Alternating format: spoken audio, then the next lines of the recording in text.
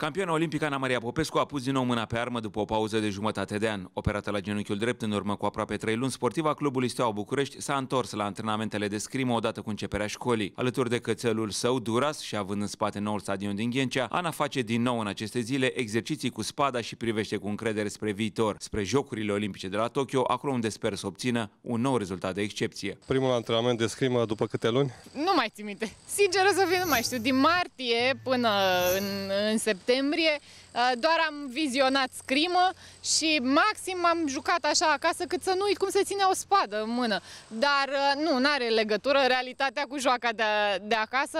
Mă bucur că în cele din urmă, da, chiar dacă, uite, în condițiile astea de picnic, m-am întors la antrenamente, pot să-mi desfășor uh, activitatea în condiții cât de cât normale, să spunem. Care a fost feeling-ul când ai revenit la antrenamente, oficial, să zicem? E sentimentul acela puternic de acasă, încât zici că n-am mai fost de săptămâna trecută, zici că a trecut așa un weekend și m-am întors la, la antrenament. Practic, uh, nu, nu s-a schimbat nimic. Ba da, s-au schimbat regulile. Înainte mă antrenam în sală, acum mă antrenez afară. Sunt bucuroasă că pot să, pot să lucrez, uh, mai ales cu domnul antrenor, cu domnul Papa Mihai, care m-a sunat săptămânal să mă întrebe când ne apucăm de treabă, era la fel de dornic ca și mine.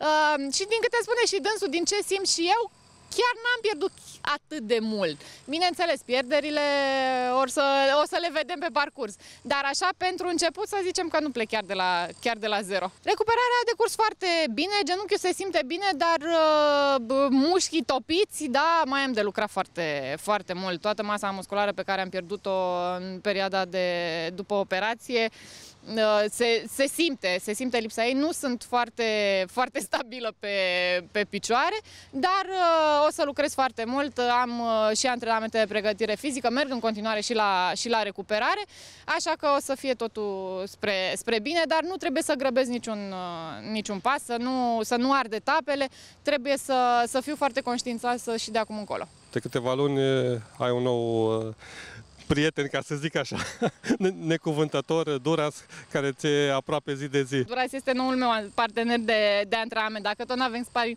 sparing partneri, uite, mi-am, mi-am găsit uh, unul care scoate untul din mine, dacă vreți.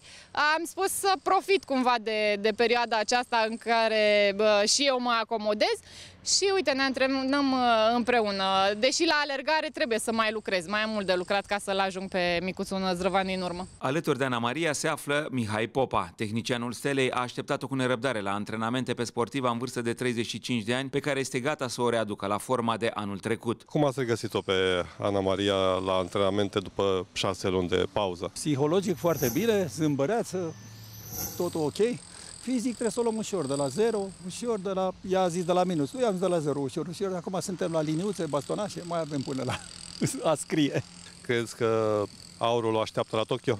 Să dea bunul Dumnezeu, are toate șansele, să creadă în ea, e bine că mai avem timp de muncă până atunci, să fie apt, aici ai problema, să nu aibă probleme medicale, restul e ok.